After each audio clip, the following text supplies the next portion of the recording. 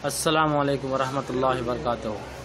शेख जी, जब हम नमाज़ पढ़ते हैं, नमाज़ में सूरा फातिहा के बाद जब कोई दूसरा सूरत पढ़ते हैं तो क्या एक रुकू तक पढ़ना मुकम्मल ज़रूरी है? या फिर हम दो तीन आयत पढ़ के ही रुकू में चले जाए? इसके बारे में थोड़ा वजाहत कर दीजिए, क्योंकि एक रुकू तक मेरा दिल चाहता है कि मैं कुरान से कोई सूरा पढूं, जैसे यासीन वल कुरान हकीम। मैं ये सूरा पढ़ना चाहता हूँ। तो इसका रुकू क्या है कि थोड़ा लंबा तक है, उतना मुझे याद भी नहीं है। दो तीन आयत उसमें से मुझे याद है। तो क्या इस तरह आप थोड़ा वजाहत कर दे कि एक रुकू तक पढ़ना पूरा मुकम्मल ज़रूरी है या दो तीन आयत ही पढ़ ले तो काफ़ी है। रजाक अल्लाह ये हमारे एक भाई साहब हैं, इनका पूछना ये है कि अगर नमाज़ में सूर्य फातिहा के बाद हमको कुरानी आयात पढ़नी है तो क्या एक रुकू पूरा पढ़ना ज़रूरी है या दो तीन? आयात ही अगर हम पढ़ लें तो काफ़ी होगा। तो देखिए, सबसे पहली बात तो मैं आपके सामने ये वाजह कर दूँ, ये जो रुकू वगैरह की बातें हैं, ये सब बात के लोगों ने बनाई हैं।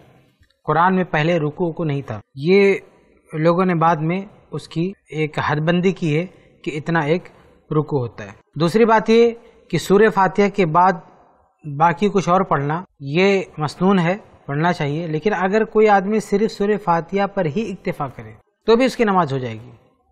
क्योंकि हदीस में सिर्फ़ ये सलात लम यकरब फातिल किताब। जो सूर्य फातिहा नहीं पढ़ेगा, उसकी नमाज़ नहीं होगी। तो सूर्य फातिहा के अलावा अगर किसी ने छोड़ दिया तो उसकी नमाज़ हो जाएगी। इसलिए जो आप ये कह रहे हैं कि हमने पूरा रुकू नहीं पढ़ा तो भाई पूरा रुकू तो जाने दीजिए, आप सिरे से कुछ भी ना पढ़ें सूर्य फातिहा के बाद तो भी आपकी रकत हो जाएगी। अब रही बात यह कि सूर्य फातिहा के बाद अगर हमको पढ़ना है तो कितना पढ़ना चाहिए? एक आयत, दो आयत, एक रुकू कितना पढ़ना चाहिए?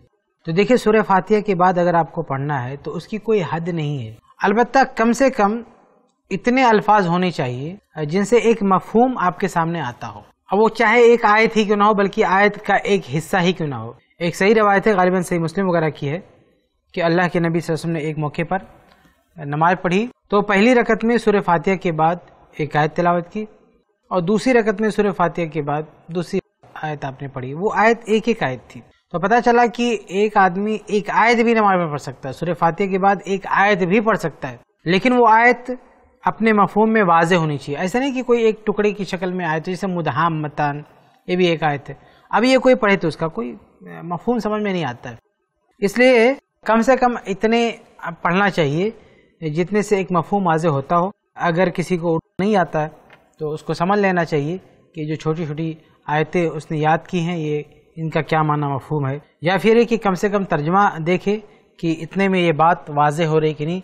वाजे हो रही है तो उसे पढ़ना चाहिए। और बात वाजे नहीं हो रही है तो उसे सिर्फ़ एक आयत पे इक्तफा नहीं करना चाहिए, और भी आयात उसको पढ़ना चाहिए ताकि बात वाज हो जाए।